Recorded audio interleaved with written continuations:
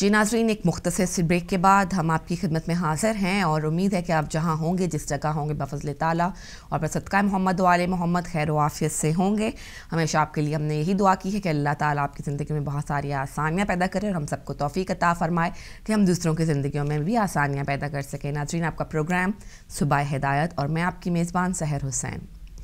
موسم کی کچھ بات کرتے چلے ناظرین، آج کی فورکاسٹ میں جو ہے وہ شدید قسم کا طوفانی بارش اور آندھی کا جو ہے وہ بیان کیا جاتا ہے اور جو سٹوم اور یہ جو ہیوی رین ہے، اس کے پڑنے کا اندیشہ ہے۔ لہٰذا اپنا جو دیکھ بھال ہے، اس کے حساب سے کیجیے باہر نکلتے وقت امبریلا لے جانا مت بھولیے گا۔ بلکہ چونکہ ہوائیں بہت تیز چلنے والی ہیں اسٹرانگ ونڈ جو ہے وہ ہونے والی ہے، تو آپ اپنے ساتھ ایسی امبریلا رکھیے جو مضبوط ہو اور ہوا کو جو ہے وہ سہار سکے۔ اپنا بہت سا خیال رکھیے گا اور میکسیمم ٹیمپریچر جو ہے وہ فورٹین ڈگری سینٹی گریڈ رہے گا۔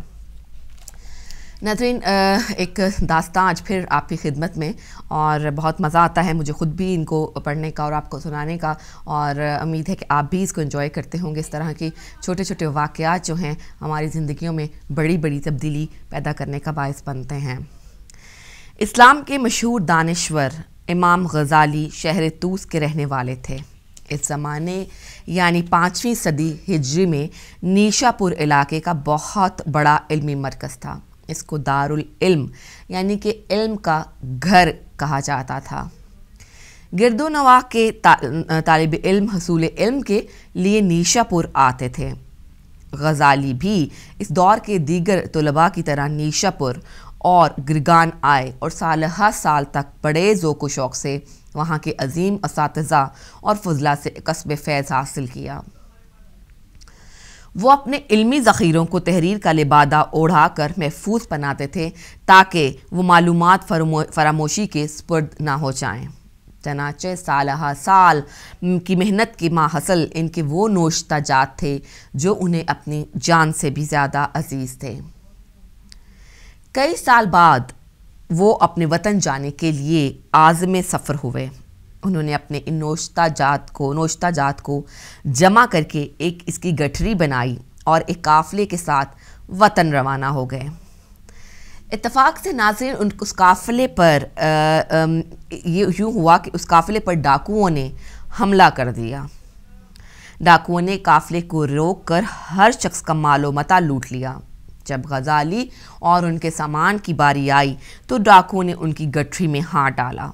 غزالی نے ان کی منت، سماجت کرتے ہوئے کہا، اس کے علاوہ میرا سارا سامان لے جاؤ، بس یہی ایک میرے لیے رہنے دو۔ ڈاکو نے سمجھا کہ لازمی طور پر اس میں کوئی بہت قیمتی سامان ہوگا۔ اسی لیے انہوں نے اس گٹری کو کھول ڈالا۔ تو دیکھا کہ اس میں کچھ نوشتہ جات کے علاوہ کچھ نہیں ہے۔ ڈاکو نے غزالی سے پوچھا، یہ کیا چیز ہے اور کس کام کی ہے؟ غزالی نے کہا، یہ جو کچھ بھی ہے، مگر تمہارے کسی کام کا نہیں، یہ صرف میرے کام کی چیز ہے۔ انہوں نے کہا، تمہارے کس کام کی چیز ہے؟ غزالی نے کہا، یہ میری کئی سال کی محنتوں کا ماحصل ہے۔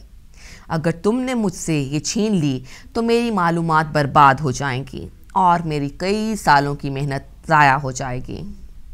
انہوں نے کہا کیا واقعی تمہاری معلومات یہی ہیں جو اس کٹری میں بند ہیں؟ امام غزالی نے کہا جی ہاں۔ انہوں نے کہا، جس علم کا ٹھکانہ ایک گٹری ہو، جس کو چرایا جا سکتا ہو ادھر حقیقت علم نہیں ہے۔ جاؤ، اپنی اصلاح کرو۔ ان کی عام اور سادہ سی بات غزالی جیسے ہونے ہار محنتی طالب علم پر گہرا اثر کر گئی۔ اب تک ان کا خیال تھا کہ استاد کی باتوں کو طوطے کی طرح سن کر انہیں تحریر کر لینا کا نام علم ہے۔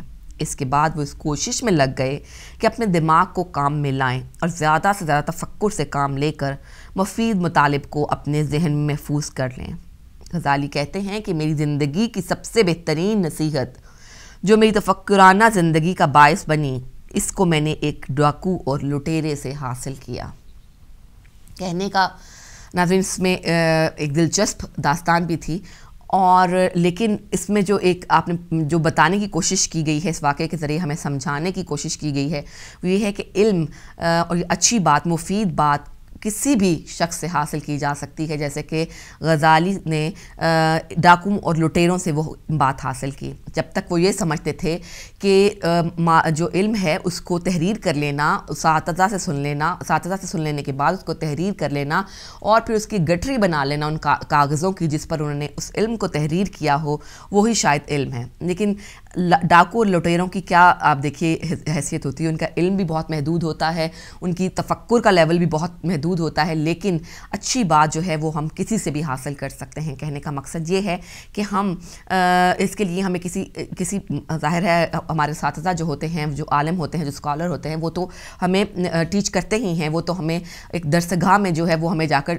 بتاتے ہیں، وہاں جا کر۔ لیکن کچھ چیزیں ایسی ہوتی ہیں جو ہم بہت ہی ایسے لوگوں سے ایکسپیکٹ کر جن سے ہم ایکسپیکٹ نہیں کرتے کہ یہ ہمیں کوئی اچھی بات بتا سکتے ہیں، وہ بھی بات بتا جاتے ہیں۔ تو ایسی دولت ہے علم، آپ کو جہاں سے ملے، جدھر سے ملے نصیحت، وہ پکڑ لینی چاہیے۔ اور پھر اس کے بعد جو ہے ظاہر ہے، علم علم کے لیے، علم کا حاصل کرنے کا ایک اور اس میں ایک بات بتائی گئی، ایک اور پوائنٹ سمجھایا گیا کہ علم کا حاصل کرنے کا مقصد صرف یہ نہیں ہے کہ آپ ڈگریاں حاصل کر لیں، جیسا کہ آج کے دور میں کی جاتی ہیں، اور سرٹیفکیٹس حاصل کر لیں۔ بڑی بڑی یونیورسٹیوں کی اپنی سی وی پر جو ہے، وہ نام لکھ دیے جائیں، بڑی بڑی ڈگریوں کے نام لکھ دیے جائیں، بلکہ تفکر کا نام جو ہے وہ علم ہے، سوچنے کا نام علم ہے، اس پہ تحقیق کرنے کا نام علم ہے، سنی سنائی باتوں پر یقین کر لینے کا نام علم نہیں ہے، تحقیق کر لینے کا نام علم ہے۔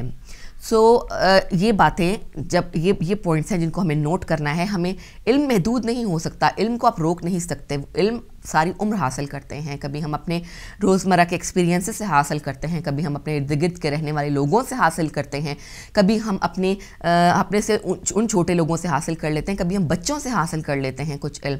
تو بات وہ ہے جو ہم علم کی بات کا وہ ہے جو ہم پکڑ لیں، جہاں پہ بھی ہمیں ملے اس کو اپنا دماغ کا، اپنی ذات کا حصہ کر لیں، کیونکہ علم جو ہے وہ انبیاء کی میراث ہے۔ ایک اور داستان آپ کی خدمت میں پیش کروں گی۔ ابو سینا کی عمر ابھی بیس سال نہیں تھی کہ انہوں نے اپنے زمانے کے تمام علوم میں مہارت حاصل کر لی اور طبیعت، ریاضی اور دینی علوم میں اپنی دور کی لاسانی شخصیت بن گئے۔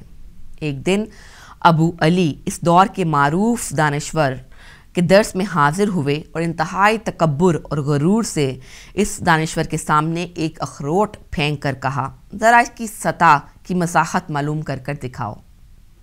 ان عالم نے علم اخلاق اور تربیت پر اپنی کتاب تہارت العراق کو ابن سینا کے سامنے رکھ دیا۔ اس سے پہلے کہ میں اس اخروٹ کی سطح کی مساحت معلوم کروں، تم اپنا اخلاق ٹھیک کرو۔ تمہیں اپنے اخلاق کی اصلاح کی اس سے کہیں زیادہ ضرورت ہے کہ میں اس اخروٹ کی سطح کی مساحت کر معلوم کروں۔ ابو علی یہ بات سن کر بہت شرمندہ ہوئے اور ان کی آئندہ پوری زندگی کے لیے یہ جملہ ایک درس اخلاق بن گیا۔ اکثر ایسا ہوتا ہے ناظرین کہ ہماری زندگیوں میں کوئی ایک فکرہ، ایک جملہ، ایک لیسن ایک تجربہ جو ہے وہ ہماری پوری زندگی پر چھا جاتا ہے، پوری زندگی کو بدل دیتا ہے، پوری زندگی پر محیط ہو جاتا ہے۔ تو یہ داستان جو ہیں، یہ بھی اسی قسم کی ان فکروں سے مزین ہیں کہ یہ والی کچھ فکریں، کچھ ایسی باتیں کہہ دی جاتی ہیں جو ہماری ذہن کے پاس سے نہیں گزرتی، جس کی وجہ سے ہم کسی نہ کسی قسم کی کمی کا شکار ہوتے ہیں، لیکن جب وہ ہمیں بتا دی جاتی ہیں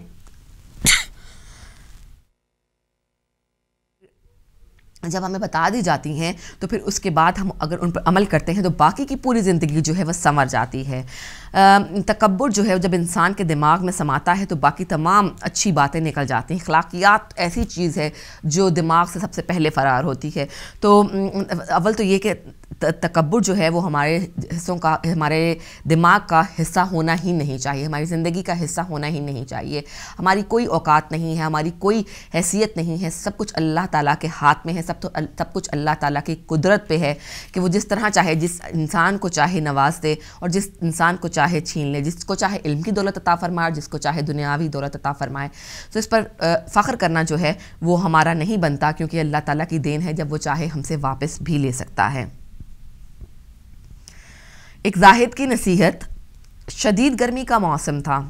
سورج مدینہ منورہ اور اس کے آس پاس کے باغات اور کھیتوں کھلیانوں پر آگ برسا رہا تھا۔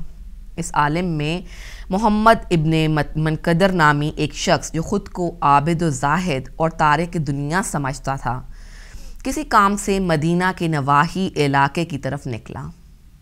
اچانک اس کی نظر ایک لہیم شہیم شخص پر پڑی، جو اپنے کھیتوں کی دیکھ بھال کے لیے وہاں آیا تھا۔ وہ شخص اپنے بھاری بھرکم، جسم اور تھکاوٹ کی وجہ سے اپنے نوکروں چاکروں کے سہارے چل رہا تھا۔ محمد بن منقدر نے سوچا، یہ فرد آخر کون ہے جو اتنی گرمی میں دنیا کے حصول میں تگو دو کر رہا ہے؟ وہ ذرا قریب آیا تو تعجب سے کہہ اٹھا، یہ تو محمد بن علی بن حسین یعنی کہ حضرت امام امام باقر علیہ السلام ہیں۔ ان جیسے نیک اور سالے کو دنیا کے پیچھے بھاگنے کی ایسی کیا ضرورت ہے؟ مجھے ان کو نصیحت کر کے انہیں اس روج سے باز آنے کی تاکید کرنی چاہیے۔ اس نے قریب آ کر سلام کیا۔ امام باقر علیہ السلام نے پسینے میں شرابور ہانپتے ہوئے اس کے سلام کا جواب دیا۔ محمد بن منقدر نے کہا، آپ علیہ السلام جیسی نیک و سال شخصیت کا دنیا کی تلاش میں نکلنا مناسب معلوم ہوتا ہے۔ اور وہ بھی اتنی شدید گرمی کے موسم میں اور ایسے بھاری بھرکم بدن کے ساتھ۔ اس سے تو یقیناً آپ کو شدید تکلیف برداشت کرنا پڑ رہی ہے۔ کیا خبر موت نے کب آنا ہے؟ این ممکن ہے ابھی آپ کی موت کا وقت آن پہنچے۔ اگر خدا نہ خواستہ آپ کو ایسی حالت میں موت آ گئی تو آپ کا کیا بنے گا؟ آپ جیسی شخصیات کا دنیا کے پیچھے بھاگنا مناسب نہیں ہے۔ آپ کو ایسے فربا جسم کے ساتھ اتنی شدید گرمی میں زحمت و مشقت اٹھانے کی آخر کیا ضرورت ہے؟ یہ کام کسی بھی طرح سے آپ کے شایان شان نہیں ہے۔ ناظرین، حضرت امام باقر علیہ السلام نے اپنے نوکروں کے ہاتھ کندھوں سے اپنا بازو ہٹا کر ایک دیوار کا سہارا لیا اور فرمایا، اگر اس حالت میں میری موت واقع ہو جائے تو میں عبادت اور اپنی شرعی ذمہ داری کی حالت میں مروں گا، کیونکہ میرا یہ کام عین اطاعت و بندگی پروردگار ہے۔ تم سمجھتے ہو کہ عبادت صرف ذکر، نماز اور دعا کا نام ہے۔ میری زندگی کی اخراجات ہیں۔ اگر میں کام نہ کروں اور اس میں راہ میں محنت و مشقت نہ کروں، تو مجھے تو جیسے انسانوں کے سامنے ہاتھ پھیلانا پڑیں گے۔ میں روزی کی تلاش میں نکلا ہوں تاکہ ہر کس ناقص کی محتاجی سے محفوظ ہو جاؤں۔ مجھے موت سے اس صورت میں ڈرنا چاہیے جب ناؤز باللہ میں خدا کی نافرمانی اور معصیت کی حالت میں ہوں اور موت آ جائے۔ نہ کہ اس حالت میں جو پروردگار کی اطاعت و فرمبرداری ہے، کیونکہ اس نے مجھے دوسروں پر بوجھ بننے سے منع فرمایا ہے اور رزق کی تلاش کا حکم دیا ہے۔ ناظرین، اس زاہد نے کہا کہ افسوس میں بہت ہی بڑی غلط فہمی میں مبتلا تھا۔ میں کسی اور کو نصیحت کرنا چاہتا تھا، لیکن اب معلوم ہوا کہ میرا طرز عمل غلط ہے اور خود مجھے اس نصیحت کی سب سے زیادہ ضرورت ہے۔ عموماً ہمارے ذہن میں ایک زاہد اور عابد شخص کا تصور یہ آتا ہے کہ وہ یقیناً تارک دنیا ہوگا۔ ہمارے ذہنوں میں یہ بات بیٹھ چکی ہے کہ جس نے دنیا سے جو ہے وہ ترک کرارہ کشیخ تیار کر لی اور دن رات اللہ تعالیٰ کی عبادت میں مبتلا رہتا ہے اور اس کو لوگ آ کر کھانا وغیرہ پہنچا جاتے ہیں، یقیناً وہ اللہ کے بہت نزدیک ہوگا اور عبادات میں اس کا بہت عالی مقام ہوگا۔ لیکن ناظرین کتنی سبحان اللہ یہ بات دیکھیے جسے کہتے ہیں کہ صدقے جایا جائے اپنے امام کی اس بات کے کہ انہوں نے کتنا بیلنس رکھا۔ اس لیے کہ وہ اسوائے حسنہ تھے اپنے آنے والے اپنے آنے والی قوم کے لیے، آنے والی امت مسلمہ کے لیے۔ اور پھر کس طرح پاسبل تھا کہ وہ ان کو دین کے ساتھ ساتھ دنیا کی بات نہ بتاتے۔ دنیا کی بات بتانا بہت ضروری تھا۔ اور انہوں نے بتا دیا کہ جب تم اپنا رزق حاصل کرنے کے لیے، جب تم اپنے بیوی بچوں کا پیٹ پالنے کے لیے باہر نکلتے ہو، رزق کی تلاش میں باہر نکلتے ہو، اس حالت میں اگر تمہیں موت آ جائے تو وہ بھی عبادت کی موت ہے۔ وہ بھی اللہ تعالیٰ کی حالت فرما برداری میں آئی ہوئی موت ہے۔ تو سو اس میں رزق تلاش کرنے کے لیے محنت کرنے میں اور اس میں کوئی آر نہیں ہونا چاہیے۔ عبادت کا اپنا مقام ہے، جس میں جسمانی عبادت کا اپنا مقام ہے، نفلی عبادت کا اپنا مقام ہے۔ لیکن سب سے میں سمجھتی ہوں جی میرا ذاتی خیال ہے کہ سب سے مشکل کام خدا تعالیٰ نے جو ہمارے فرائض دنیا کی طرف رکھے ہیں، جو ہمارے فرائض ہمارے جن کے، جن جن کی ذمہ داری ہم پر عائد کر دی گئی ہے، ان کے ان کی وجہ سے رکھے ہیں۔ ان کو پورا کرنا سب سے زیادہ بڑی عبادت ہے۔ کیونکہ کیونکہ وہ ایک ایسی چیز ہے جس کے لیے ہمیں صحیح طور پر ایفرٹ کرنی پڑتی ہے، دماغی طور پر بھی، جسمانی طور پر بھی، اور ہمیں اپنا مال و دولت بھی اس کے اوپر خرچ کرنا پڑتا ہے۔ تو جب جب ایک شخص گرمی کے موسم میں باہر نکلتا ہے، صرف یہ ایک سوچ لے کر کہ اسے چند پیسے کما کر لانے ہیں تاکہ وہ اپنے بیوی اور بچوں کی پیٹ میں نوالے پیٹ میں نوالے ڈال سکیں۔ تو اس کے لیے یہ کیا کم عبادت ہے؟ یہ کیا کم جو ہے، اللہ تعالیٰ کے اس عمل سے کم خوش ہوتا ہوگا؟ بالکل بھی ایسا نہیں ہے۔ اللہ تعالیٰ اس عمل سے بہت خوش ہوتا ہے۔ یہ بھی عبادت کے زمرے میں ہی شمار ہوتی ہے اور وہ لوگ جو حق کو حلال کی روزی کے لیے صبح گھروں سے نکلتے ہیں اور شام کو تھکے ہوئے گھر واپس لوٹتے ہیں، اس کے بعد پھر اپنے جو فرائض ہیں اللہ تعالیٰ کی عبادت کی طرف وہ بھی ادا کرتے ہیں۔ تو اللہ تعالیٰ نے ایسے لوگوں کو خوشخبری سنا دی ہے کہ یہی وہ لوگ ہیں جنہوں نے ایک توازن کے ساتھ زندگی گزاری، ایک توازن کے ساتھ حق اللہ تعالیٰ کے اصولوں کے درمیان میں رہتے ہوئے لمٹس کے درمیان میں رہتے ہوئے، اس کی فرما برداری کرتے ہوئے، اس کی خوشنودی حاصل کرتے ہوئے دنیا کے تمام کام کام جو ہیں وہ انجام دیا ایسا نہیں ہے کہ اس نے دنیا کو تارک کر دیا۔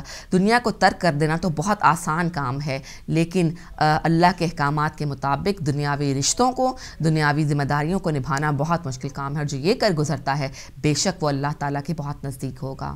ناظرین، جائیں گے ایک چھوٹے سے بریک کی طرف۔ بریک کے بعد آپ سے واپس واپس آتے ہیں اور آپ سے پروگرام آپ کے ساتھ جاری و ساری رکھتے ہیں۔ آپ کو ٹاپک بھی بتاتے ہیں۔ چلتے ہیں ایک چھوٹے سے بریک کی طرف۔